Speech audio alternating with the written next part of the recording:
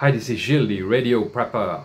This video is a quick presentation of the Retevis RT24 handheld PMR and FRS radio. They come in pairs and uh, they're very inexpensive. It's about $36 I think for the pair. So not much at all and uh, they have uh, all the legal requirements, uh, meaning the antenna cannot be removed. Uh, I'm assuming the power is 500 milliwatts. It's not specified in the uh, on the website. 16 channels.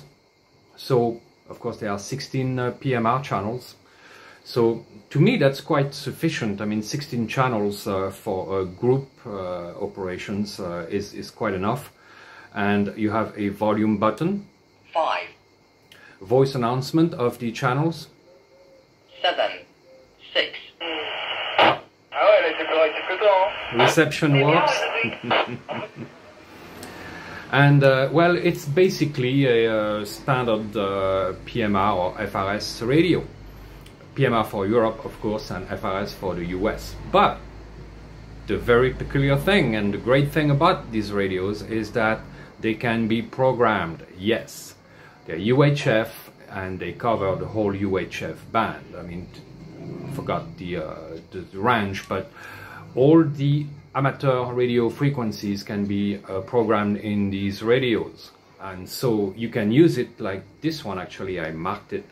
Uh, I have a couple local repeaters in there. So I can use this radio for uh, PMR and for amateur radio. And that's, that's what's great about it because most other PMR and FRS radios are not programmable. Also, I like the fact that uh, there is no screen. I don't like screens and uh, for me that's more uh, rugged. Uh, it's it's looks more professional. It doesn't look like a toy. Uh, so it's in, I just like them better. And uh, I never had a problem with a Retevis radio. So good opportunity here to test the Retevis and we're aboard my sailboat Ragnar coming back to Antibes and uh, just testing the radio with a friend and we'll see how it goes and this type of radio really on a boat is very handy uh, to talk to someone on shore. Ok super, hein, pour information la place est euh, 678. Ouais. Ah ouais, j'ai regardé sur le plan approximativement où est-ce que c'était, t'inquiète pas, j'ai regardé un plan. A tout de suite. Ok, très bien, à tout de suite, merci. Ceci. So, no surprise, it works great and uh, it's, it's very useful. Now, the one I uh, want to get, uh, the thing is that these I didn't uh, I didn't buy them. I uh, got them from Retevis. They sent them to me for review. Uh, now, if it was crap, I would tell you. okay, it's not. And but however, the, since I want to use them on my boat, I want to get the waterproof version, and that's the RT648.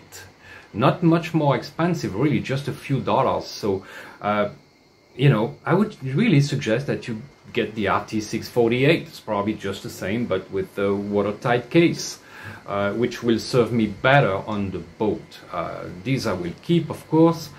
The great thing about these radios, PMR, FRS, is that they're so cheap. You can give them away to people, your friends, your family, and, uh, you know, agree on a channel to meet when you know if things go down and uh, so that you can actually uh, communicate and contact them if needed uh, if they don't have a, an amateur radio license. So there you have it. Retevis RT24 good enough for me. Have a good one